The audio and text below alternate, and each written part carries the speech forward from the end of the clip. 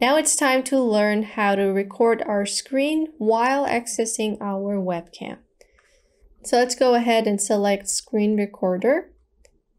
We already went over all of these, but we left out this one last option for this lesson, which is your webcam. So it's pretty simple. All you have to do is to make sure your camera is not covered and just hit this button once and you're going to get your webcam accessed. So with the webcam, you can just drag it all around and while you're recording your screen, this will be in there as well. So you don't need to uh, record yourself separately and then record your screen as well, put them together. You can do it all in one go. So if I'm showing a tutorial on how to edit a video, I can just turn this on and my face will be in the corner or any other location that I want.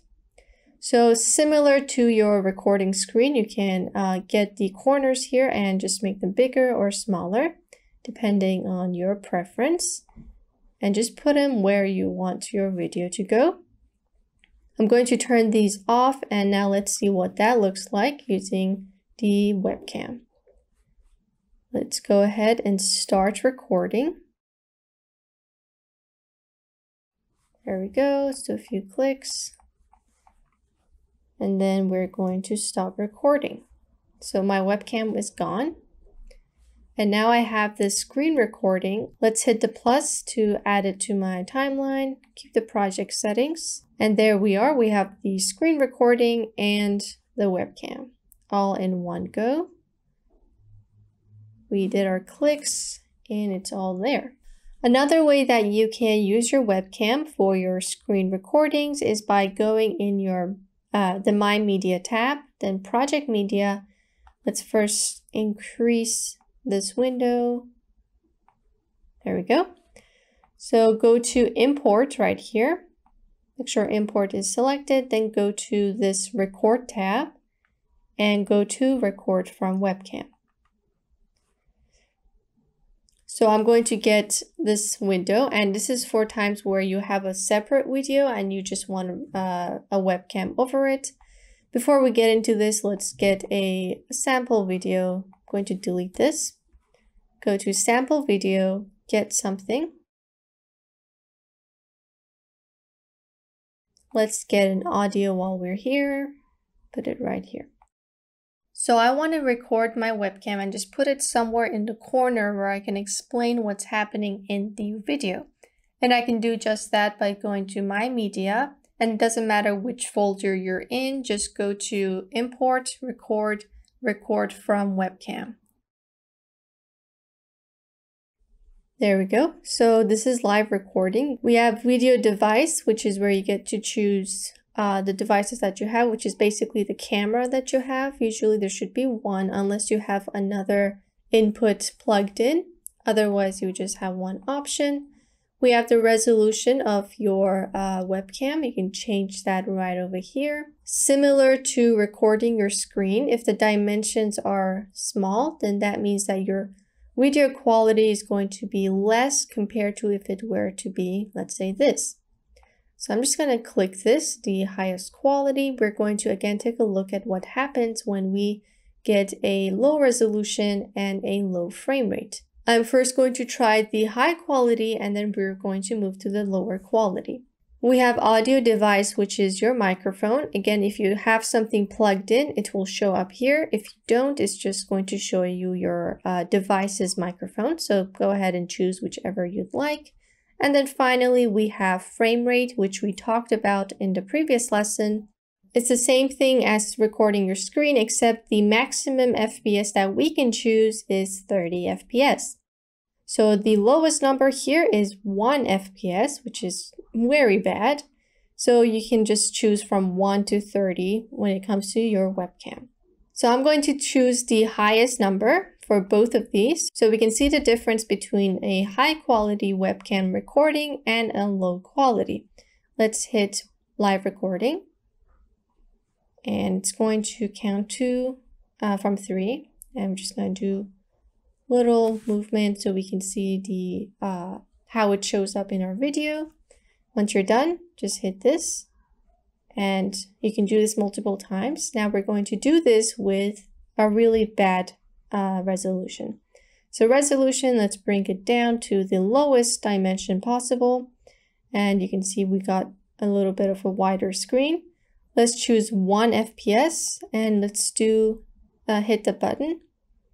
We're going to do some movements as well, just move around and we can see what the difference is between these two.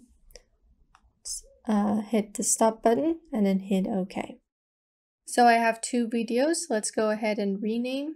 I will right click, rename, call this high FPS. Just gonna check that real quick. Go to properties. So this is the one with the higher FPS. Hit OK. And let's rename the other one low FPS. Renaming your footage is a great way to keep things organized in your project media. I'm also going to name this real quick. And when it comes to footage that looks similar, like our two webcams, renaming them can help you differentiate them. Let's get high FPS, just put it right here. And I'm going to double click to put it in the corner, grab one of the uh, corners to make it smaller. Maybe do this if you want to uh, change the width and the height, you would have to grab one of these for the width and this one for the height. But make sure you don't distort your footage. Once you're done, just place it wherever you want. And this one had audio. I'm just going to right click and mute this. I have also muted the audio track right here by clicking this uh, audio icon. Let's play this back and you can see how uh, everything's running smoothly. My hands are not glitching in any way and I just have my movements there. This is possible because of our high FPS and resolution. Let's make the underlying video a bit longer so we can compare the movements. Um, this is too short. Let's go for this one. Just a random sequence here. So I'm going to play this again and we can see it uh, in relevance to the video in the back. You can see it's running in real time and that's really important. And it ends once uh, it finishes. And we cannot extend this as we learned in previous lessons because it has a set duration. If you want more content, you would have to just go at the end here and then go back to record from webcam. And it's going to record and then show up in your project media like this one. And you can just drag it on right here. So this is the one with the lower FPS let's first mute this. I'm going to double click and uh, let's make a new video track. Add video. Just press this button. Bring this on top so I can make it the same size double click, grab one of the corners and just make this uh, around the same size. We kind of distorted the first video. It's okay. Hit OK. And now we're going to hit this eye icon for the high FPS video to get rid of it. So now, uh, not to get rid of it, just to get rid of the visibility. Now we just have the one with low FPS. And let's see how this is with real-time video. So you can see it's like glitching even though the video is moving smoothly. Now, why is this happening? It's not because of the resolution, but because of the FPS that we chose. So it's almost as if we have like um, a bunch of pictures. Let's see how long this is. To uh, right click on the video and it's eight seconds. So basically it's like we have eight photos placed next to each other rather than having a video. So it's really important to not choose a low FPS or else you're going to get a glitching video like the one we have here. I'm going to delete this little bit. Now I'm just going to place them next to each other. Just double click on each one. Increase the size so we can see them, um, compare them to each other. Trying to get the same size here. So this is low FPS, this is high FPS. Let's add a text. So it's easy to so it's easy to differentiate. I'm just gonna grab something, go to plain text, nothing too fancy. Add a video track first and get a text.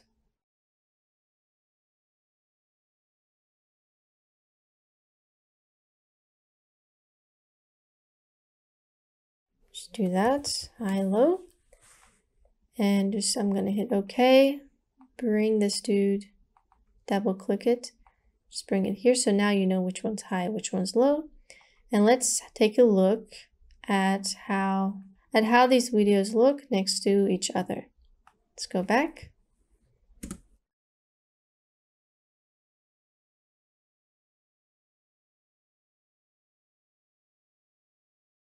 So as you can see, let's go back here. The first video, hi, I'm just moving around, my hands are moving, my uh, I'm talking as well, but the low FPS, it's almost as if you have bad internet connection and you're on a Zoom call. So it's really important to choose a high FPS and that way you will not get any glitches like we are over here. It's not looking so good. So let's keep that in mind once we're choosing the settings for our webcam. Let's go ahead and delete all of these. I'm going to go back here and, and choosing these settings can also change the size of your video. So I'm going to select this, right click, come down to properties. And we can see this is around 5 megabytes, 4.97 megabytes. And if I go on the low FPS one, right click, properties, we have less than 1 megabyte. And that's pretty low, but we know the reason why. It's because it has 1 FPS, 1 frames per second, or FPS. Alright, so now let's go ahead and attempt to make a tutorial from our Filmora workspace using the screen recorder and the webcam that we learned how to use. So I'm just going to delete all of these so we can start fresh. Right click, delete. We need a project first. Mine is untitled.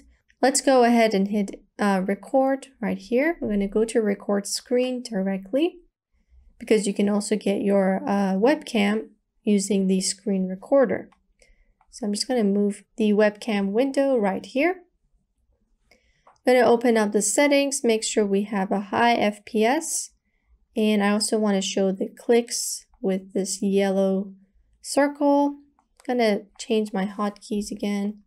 Let's go for Command H. I also have mouse clicks uh, turned on, the sound. I will also turn this on and the microphone as well. So we're going to be creating a full tutorial using what we learned so far. And that way we can maybe export it for our YouTube channel. So let's go ahead and hit this red button.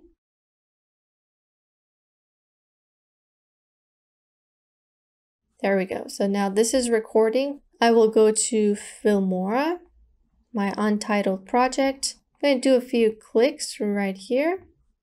Let's go ahead and get an audio. I'm going to get this guy right here. Make sure you unmute this. We did this previously. Unmute it and I will also get, let's get a video. Right here. And I can always just drag this webcam and put it somewhere else because I'm trying to show something here. I'm gonna move it down here.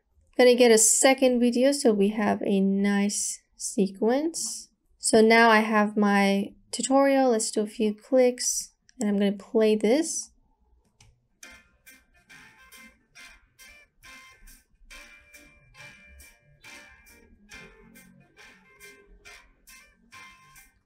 All right, so that was my tutorial. I'm going to hit Command H, the hotkey that we determined when we were starting the recording.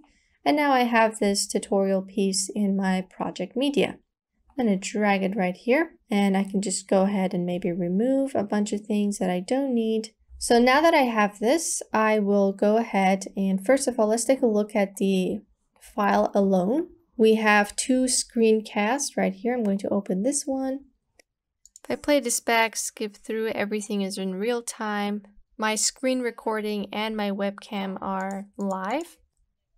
Got the click sounds as well. And this is a great way to create tutorials as we saw here. And to know whether you are your screen recorder is uh, recording or not, you can always just take a look at you can take a look at up here right now. If you look over here, once I click away, you can see there's this red icon. That means means that it's recording and it's live. Right now there isn't that icon because we're no longer recording. And I'm going to go back to my Filmora workspace and it's the same thing here.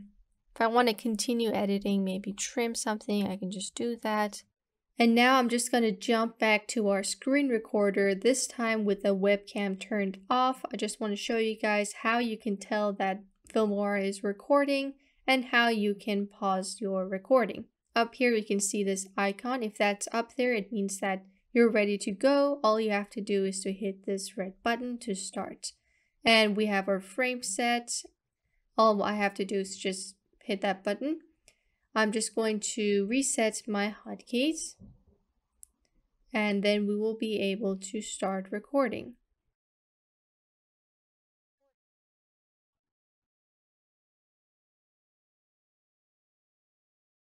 Okay, as you can see up here, we have this thing and it's red, meaning that I just need to pause this in order for this to stop. If I hit Control M, which is what we set for uh, pause and resume, you can see it turned into this pause button.